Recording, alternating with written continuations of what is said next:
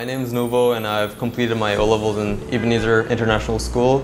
After I was done with school, I wanted to do foundation in creative multimedia. So, so we've actually been to MMU before and we really liked how it was. So Prominent helped me out with the processing and the paperwork stuff. And I got my eVAL, so I'm gonna be doing my session in November. And so if you guys want like Prominent's help, you can contact them.